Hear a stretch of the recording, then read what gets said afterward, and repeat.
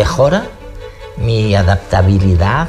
Lo que te planteas es si profesor Layton requiere de tu inteligencia y la respuesta es sí. Pero es claramente una mejora a medida que vas practicando con Layton, van tus habilidades numéricas eh, para manejar el lenguaje, espaciales, van mejorando, pero además hay ciertos cambios interesantes a nivel eh, biológico, a nivel cerebral.